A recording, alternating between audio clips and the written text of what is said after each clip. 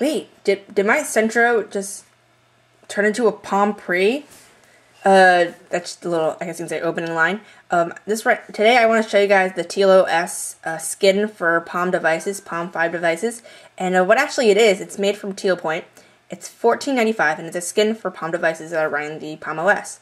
And um, it's only just basically a skin that puts a new interface onto your phone, uh, which makes it resemble. It's based off the Palm Pre, which is coming out soon.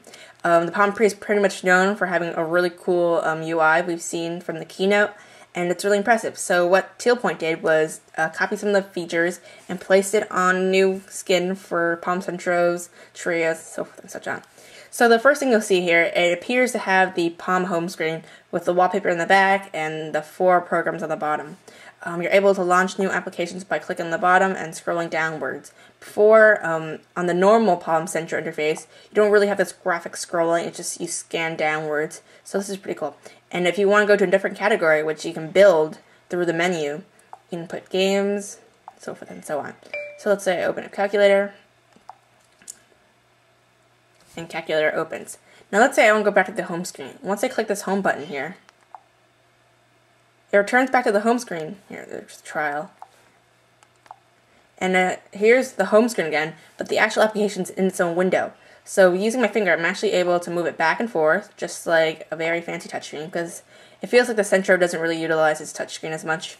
And uh, if I don't want it anymore, if I want it to stop running, I can just flick it off out of the screen. Oh, let's see. Flick it off. And it stops running, just like the Palm Pre um, appeared to do in its keynotes. So I can run a whole bunch of applications. So let's open the telephone and the planner and all that stuff. On the basic, on the normal Palm Centro interface, you'd have to go back to each application and such. But let's say I press this home button again, and those two programs I had opened are now coming in Windows, and I can zoom out and see which I want. And let's say I want to go back to the phone, click the phone, appear back to the phone. Now let's say I want to get rid of all these. I can just use the up arrow button and stop the application. Really convenient. I really like it. Even if it's just the skin, it makes um, using the phone a lot more easier, a lot more efficient because you can just switch to the four applications or five applications you use the most without going through the menu system. Now let's go into the calendar again, and here's a different way of launching your five favorite applications. I take out my stylus here and I lift upward. See, it takes a little trickier. Come on. Okay, there it is. If something appears called the Wave Launcher, and the Wave Launcher allows you to choose the five applications you use the most, and makes it a little bit easier to launch applications. I personally don't use it because it feels like you need the stylus to do this, and I barely ever take out my stylus. I'm only taking it now for, you know, visual purposes. So let's go back to um, Memos, and go back home, and I'm able to flick out my applications. So that's just a pretty quick um, overview of the operating system. It's pretty easy to install.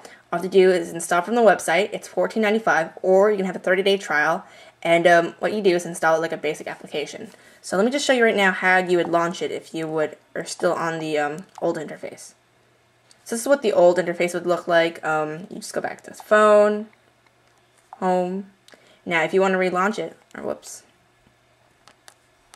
and then go back. Okay.